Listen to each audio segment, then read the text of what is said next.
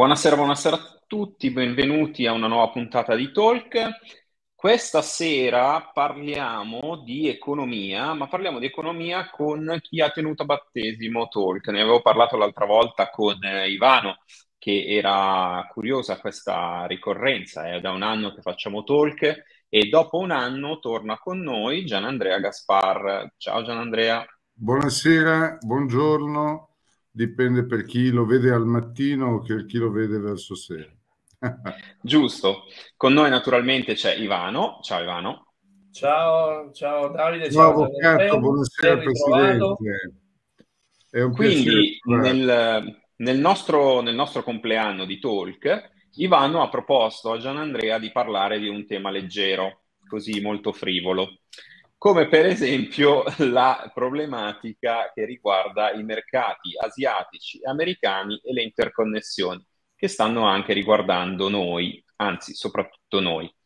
Um, Ivano, vuoi fare tu la prima domanda a Gian Andrea? Sì, noi eh, partendo poi appunto dal, da proprio la nostra prima intervista, il nostro primo talk, siamo partiti anticipando già sulla guerra in Ucraina in realtà i risvolti economici che avevano questa, questa guerra, per cui la prima domanda è appunto le conseguenze della guerra ucraina eh, un anno dopo. Eh, naturalmente mi riferisco mm, non tanto eh, alla situazione sul campo di battaglia, ma sul piano economico, lo sviluppo eh, delle economie alternative a quella occidentale, Gianandrea? Ma eh, intanto ti ringrazio dell'invito, ehm, entro subito in argomento. Allora, eh, credo che la parte di guerra, eh, il tema insomma della guerra in Ucraina, eh, Russia-Ucraina sia un tema in realtà che rappresenta solo e esclusivamente una piccola parte di un grosso problema, di una grossa eh, tematica che stiamo vivendo, che è qualcosa di più esteso ed è il rapporto tra due grandi potenze mondiali, tra Stati Uniti e Cina. Eh, non c'è dubbio che la guerra sia una delle espressioni e purtroppo noi, noi facenti parte di questa, questa generazione e ancora prima la generazione più giovane rispetto a noi, non siamo assolutamente edotti, abituati, acculturati su uno stile eh, di guerriglia di questo genere e ancora di più di una guerra che ha dei risvolti economici giganteschi che forse noi facciamo fatica a percepire. Però mh, vediamo i primi effetti eh, anche dalle, eh, pre, dai presidi che si sono sviluppati nelle città dove eh, eh, l'economia cinese si è sviluppata silenziosamente tantissimo. Facendo quindi riferimento alla tua eh, preposizione sul tema di oggi, eh, noi facciamo riferimento a due grandi potenze che non possono aprirsi, e nel, nel dire aprirsi lo dico ovviamente tra virgolette, ad una guerriglia a, a, aperta, a cuore aperto, ma eh, c'è una guerra in atto che ha eh, dei risvolti di economia, che ha dei risvolti di conquista, che ha dei risvolti di potere eh, non tradizionale, ma mosso con delle nuove armi, dei nuovi sistemi. Entrando ancora di più nei termini, eh, volevo far memoria a chi ci ascolta in maniera più semplificata a quando Donald Trump, quindi parliamo della, della penultima eh, presidenza americana, eh, di fatto eh, dichiarò guerra alla Cina. Hm? E, e, questo fu un momento di grande eh, sensibilità sul piano economico il, il caso Biden di quest'ultimo presidente che abbiamo tutti compreso essere un presidente con poca eh, spina dorsale, di fatto eh, ha continuato in maniera così mh, indotta la politica di Trump. Bene, per arrivare ad oggi dove ci sono queste due potenze, una potenza, quella statunitense, molto moderna, ma che ha per esempio eh, dimenticato che il costo del lavoro eh, è assolutamente fuori dai termini, costo del lavoro americano, il costo del lavoro cinese è un quarto, se non un quinto in alcuni casi, del costo della manodopera americana. Quindi Cina e Stati Uniti vivono due realtà in termini di potenza economica, di potenza produttiva, eh, assolutamente eh, così contraddittori e contrapposti. Come eh, dicevamo ancora prima del nostro collegamento, e non me ne vorrei Ivano, riprendo le tue parole, noi Europa siamo servitori di due padroni, quindi abbiamo gli Stati Uniti da una parte che hanno contribuito al risanamento dell'Europa dopo la seconda guerra mondiale e abbiamo una Cina che è eh, fornitore e eh, cliente tedesco per poco più del 20% del PIL tedesco e il PIL tedesco, signori, è, è una delle, forse la più grande potenza europea eh, in termini di economia, il 20% della sua economia è in relazione con la Cina. Quindi l'Europa non può fare a meno della Cina, l'Europa è figlia commerciale degli Stati Uniti, l'Europa è un po' carne da macello. Arriviamo poi in dulcis in fundo, questi erano i temi che l'avvocato Giacomelli ha posto eh, ancora prima della trasmissione. L'ultimo tema è un eventuale default di un sistema economico.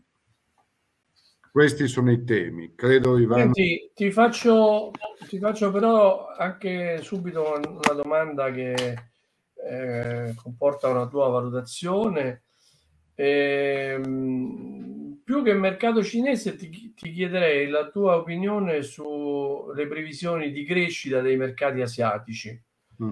anche per avere, diciamo così, uh, ti faccio una premessa, non so se la condividi, ma uh, ci troviamo, come hai detto tu, in una guerra non dichiarata, ma in una guerra a tutti i livelli. Non forniamo uomini, forse non forniamo uomini in via ufficiale, ma sicuramente forniamo tutto il resto, compreso l'intelligence per fare attacchi entro i territori eh, delle fazioni.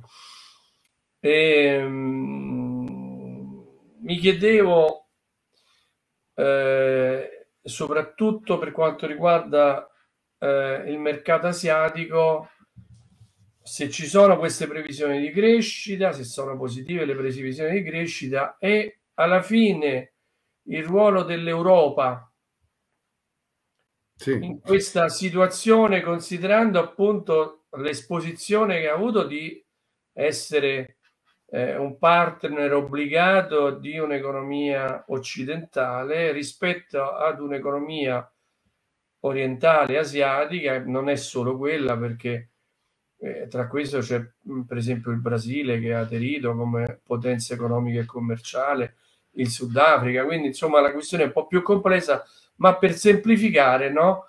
Ecco, eh, la situazione dell'Europa verso eh, questo mercato, pre- la premessa è se questo mercato asiatico è in difficoltà o in crescita vista la situazione attuale. Sì, la domanda è molto pertinente, molto interessante. Ehm, allora, il mercato asiatico in realtà è a macchia di leopardo, nel senso che non tutte le nazioni hanno sviluppato eh, capacità commerciali eh, e di natura moderna e di natura efficientata rispetto al mercato europeo al mercato americano.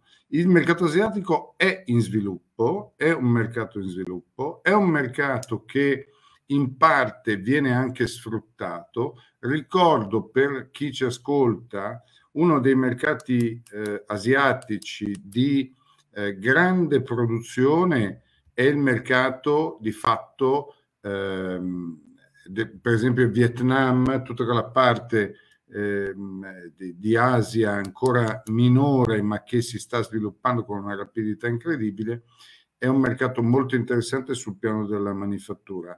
Un altro mercato che invece è estremamente moderno e eh, fornisce già eh, tutta una serie di studi, di analisi, di proiezioni, di eh, capacità davvero di interagire con quasi tutti i vettori economici è il mercato della Corea del Sud, per esempio, ed è un mercato che, del quale si parla poco, ma che è un mercato in, in grandissimo sviluppo. Un altro mercato che eh, sta diventando molto interessante è il mercato indiano. Il mercato indiano fornisce, eh, ci sono fior di aziende, di studi, di, di attività mh, mm, che forniscono grandi matematici eh, eh, a tutto il mondo software, eh, tantissimo viene dall'India eh, ed è un mercato in netta espansione. Contrapposto paradossalmente, mercato, dicevo, del eh, sud-est asiatico e mercato dell'India sono contrapposti ad un nuovo mercato che è quello che si sta eh, definendo mh, negli ultimi anni ed è un mercato di appannaggio della Cina.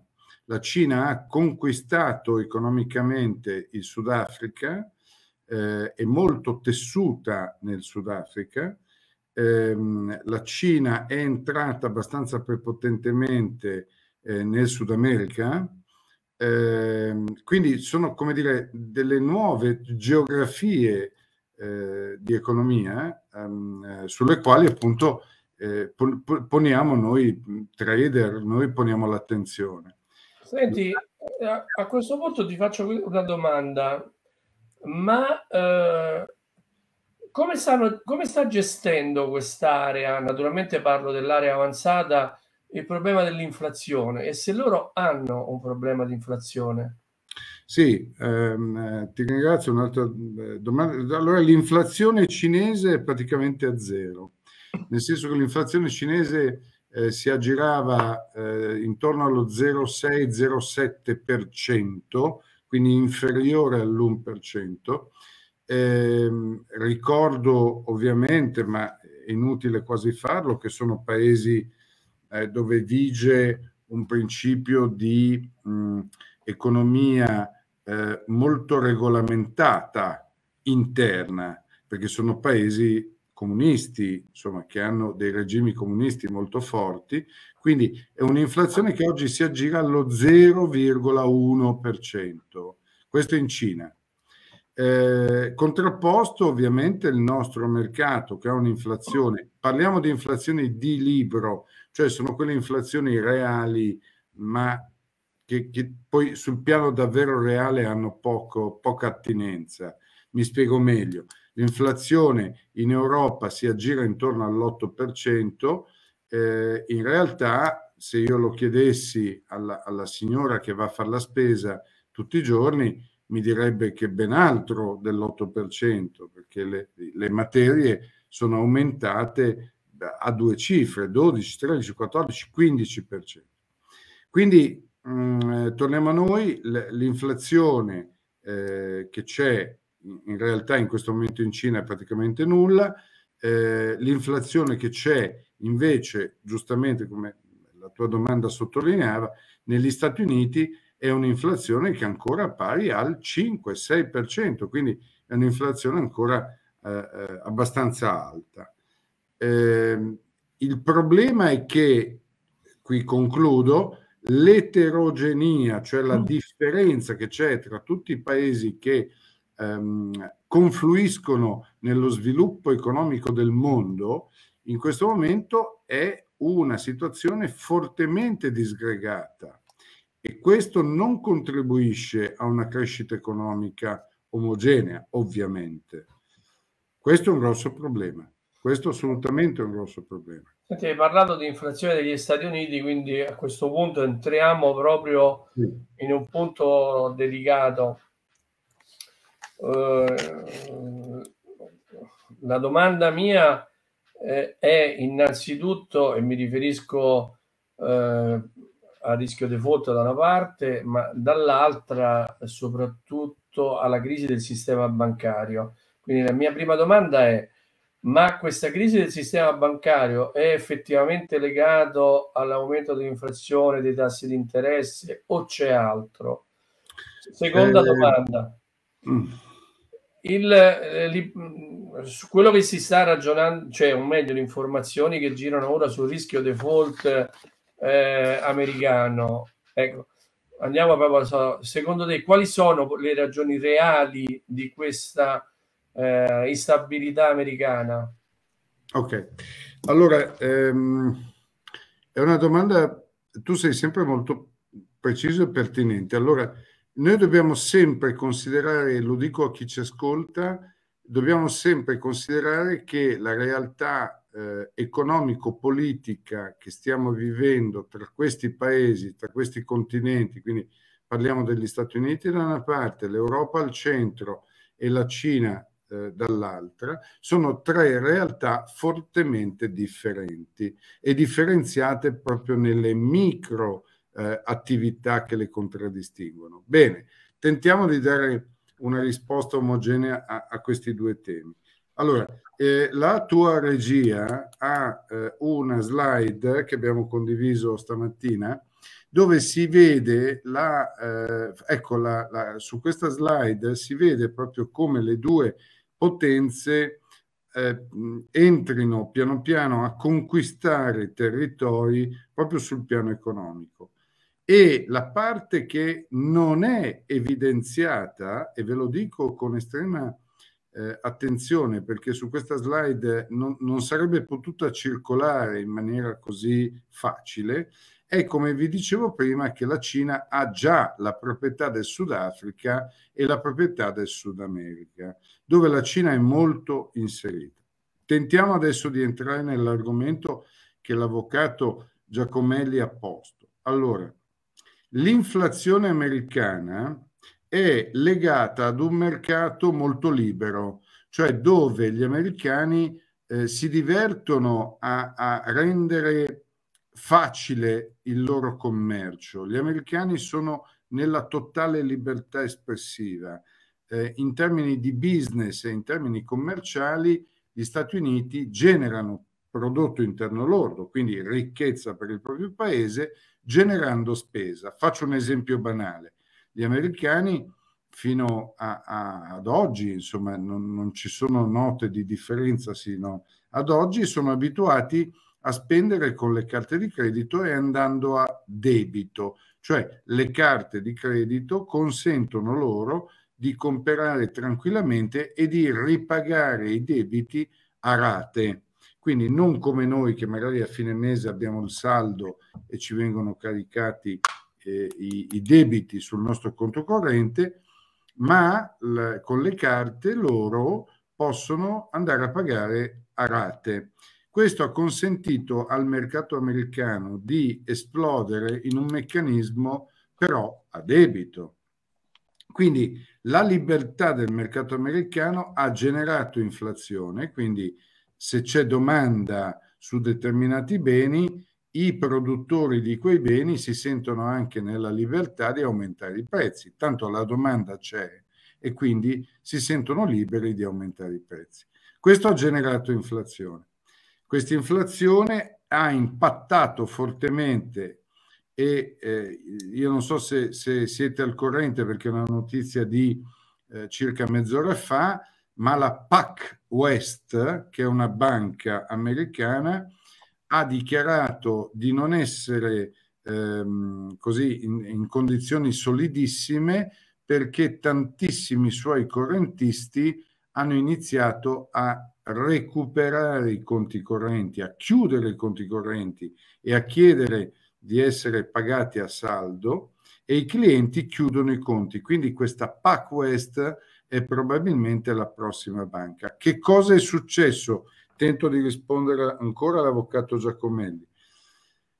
Allora, le banche, avendo un aumento dei tassi dettato dalla SEC americana, dalla Fed americana, eh, eh, la SEC poi è la, è la parte di attuazione, ehm, la Fed americana ha aumentato i tassi. Aumentando i tassi, le nuove obbligazioni americane rendono di più, mentre quindi quelle vecchie, già emesse da qualche anno, rendono di meno. Allora, quelle vecchie perdono di prezzo, perdono di valore perché scendono, non essendo più così interessanti, scendono di prezzo e le stesse banche americane che avevano al loro interno obbligazioni vecchie, per capirci, avendo i prezzi che sono scesi di quelle stesse obbligazioni e magari in alcuni casi essendo costrette a doverli vendere, hanno generato dei buchi, hanno generato dei buchi perché hanno venduto in perdita. Questo ha fatto sì che tante banche, ne abbiamo sentite, no? la First National Bank è stata una, eh, eh, la Silicon Valley Bank ed altre, oggi questa PacWest, ma è notizia di mezz'ora fa, eh, eh, hanno, hanno, dei seri problemi. Questi problemi hanno generato eh, problemi ulteriori su un impianto inflattivo già compromesso e quindi si sta parlando di default americano, cioè sta girando questa voce ed è una voce sempre più insistente.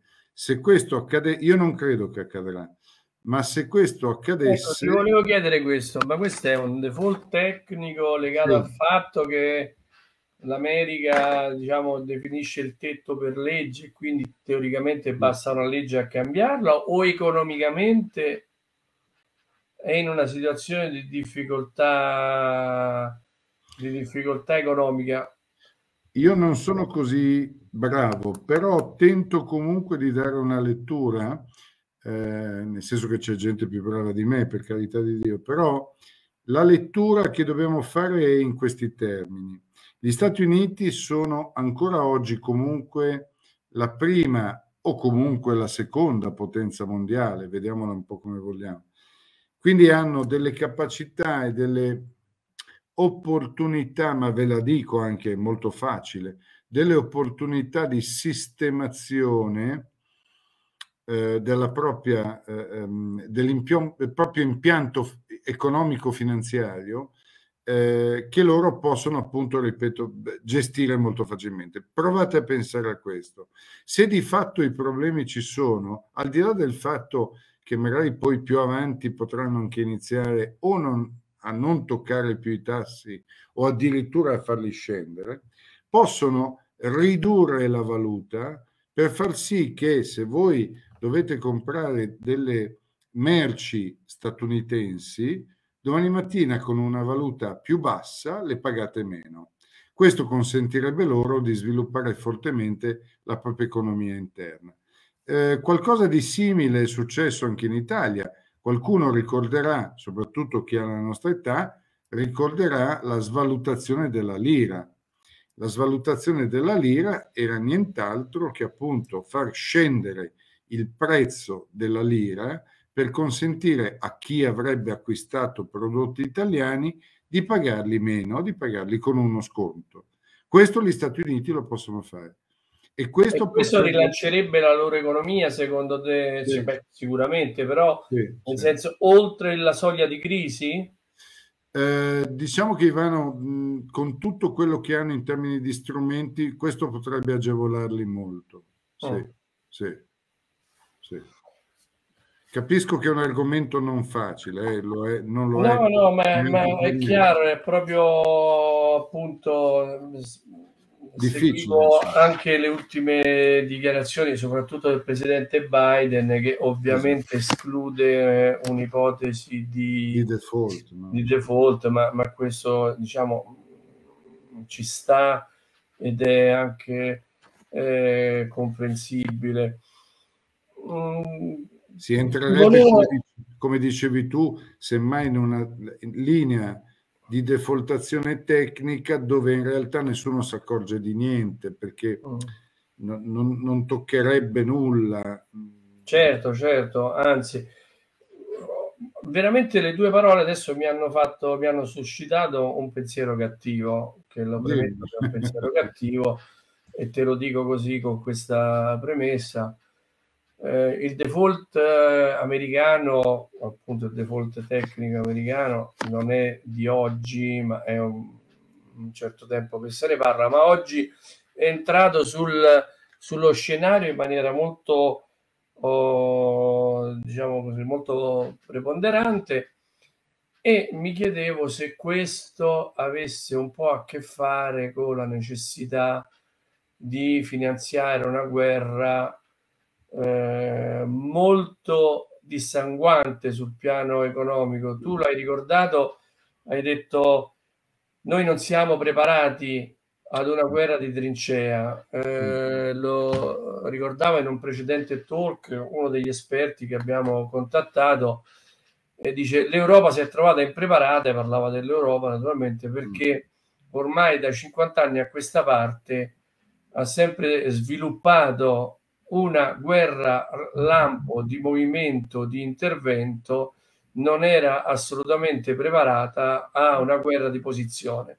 No. Quindi noi ci troviamo dopo appena due mesi eh, che abbiamo i magazzini vuoti. Addirittura portava un esempio che mi ha eh, particolarmente colpito. Adesso non ricordo bene i numeri, ma lui diceva che il numero di bombe lanciate attraverso i cannoni in un giorno erano pari all'intera riserva europea.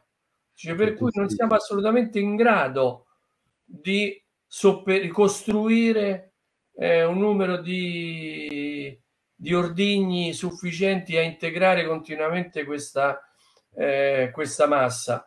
E considerando e collegando l'annunciata controffensiva che dato che è annunciata da parecchio tempo eh, e che i russi non stanno certo lì imbambolati ma hanno ritirato le loro, le loro linee appostandole in punti strategici e rafforzando le posizioni difensive sarà probabilmente diciamo una controffensiva molto sanguinosa e con una spendita di armi e munizioni spaventoso, spaventoso. che divide umane purtroppo questo sembra ormai diventato un problema di, di secondo genere. Ecco questa ipotesi di default potrebbe essere in qualche modo di aiuto alla possibilità quindi di aumentare il debito pubblico e quindi di fare nuovo, nuovo investimento per produrre appunto armamenti ma allora, eh, una domanda molto, molto pertinente. In realtà noi dobbiamo sempre considerare che ci sono due, due cervelli che stanno ragionando, uno è il cervello americano e l'altro è il cervello europeo. Il cervello europeo, come giustamente sostenevi tu, ha dei limiti, nel senso che arriva fino a un certo punto, noi abbiamo addirittura un'azienda che è di proprietà di Leonardo, che è la Otto Melara, che sta costruendo armi a più non posso e queste armi vanno a finire in, in, in Ucraina. Ma come dire, siamo contingentati, noi non riusciamo a, a sostenere tutta la, la, la, la, produzione o tantomeno insomma a seguirne eh, così lo sviluppo. No? Quindi siamo sempre un po' in affanno. Gli Stati Uniti eh, hanno ordinato e hanno posizionato eh, anche delle proprie risorse belliche. Eh, è arrivata l'Inghilterra che non, non, ci aspettavamo perché l'Inghilterra era un po' così con la puzza sotto il naso e stava un pochino, un pochino in disparte, poi in realtà è arrivata. Eh, c'è Trump che ha fatto l'ultima dichiarazione ancora un giorno fa o due giorni fa, dove ha detto che se fosse lui presidente degli Stati Uniti, nell'arco di 24 ore avrebbe già risolto la questione, la questione russa, Russia-Ucraina. Quindi, eh, seguendoti e cercando di trovare un fil rouge in questo ragionamento, che in realtà, eh, come dire, eh, sarebbe un, insomma, molto lungo, no? perché articolato, perché affronta tanti argomenti. Eh, dire che questo ci fa del bene e ci contiene livelli inflattivi oppure ce li sviluppa, questo è ancora difficile da stimare perché noi ancora ad oggi non sappiamo pubblicamente, poi ovviamente chi è preposto lo saprà, ma noi non sappiamo quant'è la spesa eh, per, la, per, gli armamenti, quant'è la spesa europea a sostegno di questa guerra. Quindi, come dire, eh, non sappiamo tante cose e nemmeno noi che facciamo questo lavoro di analisi abbiamo degli elementi che ci possano consentire coerenze analitiche e, e, e sviluppi di buonsenso. Purtroppo siamo molto mh, poveri di dati in questo momento. Eh, c'è sicuramente una, una polarizzazione politica eccessiva da parte degli Stati Uniti e c'è una polarizzazione politica eccessiva da parte della Russia dall'altra parte. Quindi eh, questa Cina che non si sa bene chi appoggi, eh, insomma, eh, stiamo parlando eh, di, di, di, di, argomenti che tu, avvocato, mi insegni essere estremamente complessi, estremamente articolati. Non, non riusciamo a dare una risposta netta. Ecco, io ti posso tentare una vision sul piano economico, ma poi il resto non sappiamo davvero. Eh sì, mai come oggi si possono solo ipotizzare scenari, dai più esatto. catastrofici a quelli, diciamo così, più... Eh, chissà se Trump, eh, quando ha fatto quell'affermazione, ha inteso dire che lui avrebbe obbligato a trattare gli ucraini una, un accordo di pace o se pensava ad altro, insomma. Ecco, ecco, ecco bravo, sì. Poi aspettiamo il Vaticano, il Vaticano sappiamo che sta lavorando fortemente, eh, non sappiamo bene in che termini, ma sappiamo che il tavolo è apertissimo e loro ci stanno lavorando. Stanno lavorando con il Pope eh, di là in Russia, quindi so che si parlano. Questo mi arriva come informazione, penso che anzi eh, giù nei tuoi studi, giù a Roma, voi abbiate sensibilità anche su questi argomenti. Quindi voglio dire, qualcosa di grande sta succedendo. Eh, intanto che succede quel qualcosa di grande sul piano economico, ehm, anche, anche, sul piano così eh, prettamente politico-sociale, qualcosa deve succedere. Insomma. Il mondo sta cambiando forma, questo è fuori di dubbio. Eh, Scusami Gian, ho una domanda io per te. Sì, ti prego. Eh, avete parlato di Cina e America. Eh, io vorrei buttare lì come ultima domanda, eh, perché poi il nostro tempo è finito, Taiwan. Eh, eh, cosa succede eh, alle aziende che producono i semiconduttori, quelli Guarda... che adesso sembrano la, la, merce più rara del mondo, per cui sì, sì. non si riescono a consegnare le macchine, tutto ritardato a causa di questi mitici semiconduttori. Tra l'altro vengono prodotti anche in Italia i semiconduttori, ce n'è sì, una sì, quotata in borsa. Eh sì. eh, eh, tu, tu, hai toccato un altro argomento interessante perché Taiwan, come avete notato negli ultimi tempi, è scomparsa dalle pagine dei giornali. Eh, ormai il, il, il, il, tema Taiwan si era accennato alla fine di gennaio, primi di febbraio, e poi è entrato in un silenzio ermetico dove, dove non passa nemmeno uno spiffero. Eh, qualcosa si è saputo un paio di settimane fa che era tornato leggermente in auge, ma è stato solo un titolo e dopodiché non se n'è più parlato. Eh, il, l'argomento Taiwan tocca ovviamente la produzione dei microprocessori che vengono sviluppati proprio a Taiwan e sono quei microprocessori che fanno andare le nostre macchine, le nostre caldaie, eh, qualsiasi cosa sia di natura elettronica ha tanti microprocessori. E ehm, certamente è un argomento di grande sensibilità. Ripeto, noi, e qui forse entriamo anche in un meccanismo di conclusione, gli Stati Uniti non possono fare a meno della Cina, la Cina non può fare a meno degli Stati Uniti. Questo è un assunto quale, cioè del quale avevamo accennato anche con, con l'avvocato Giacomelli.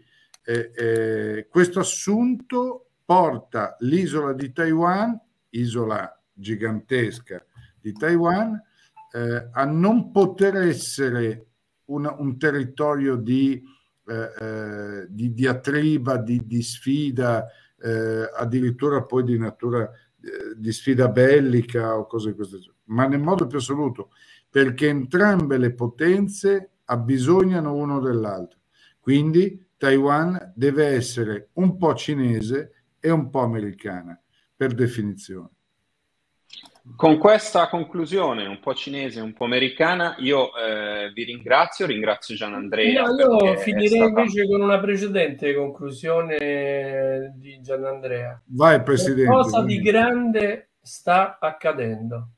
Sì, sì, eh, condivido, Presidente, sì, sì, sì, qualcosa di grande sta accadendo. Io credo che la nostra generazione non riuscirà a vedere magari quello che accadrà, ma sicuramente i nostri eredi, i nostri figli eh, vedranno un mondo molto diverso da quello che vediamo oggi. Sì. Ok, abbiamo finito quindi con yes. questa grande frase di mistero, no, no. vedremo che cosa accadrà. Io ringrazio eh, il Presidente. qualcosa di buono. Grazie, ringrazio il Presidente che ho sempre il piacere di vedere, sempre lui a Roma, noi a Milano, quindi non riusciamo mai a incrociarci, però ti ringrazio. Avremo tanto, occasione, Ivano. avremo occasione. Grazie Ivano. Grazie, Grazie mille a tutti e alla prossima, ci vediamo giovedì prossimo. Grazie Davide. Ciao, a presto. Ciao, arrivederci. Ciao. Ciao.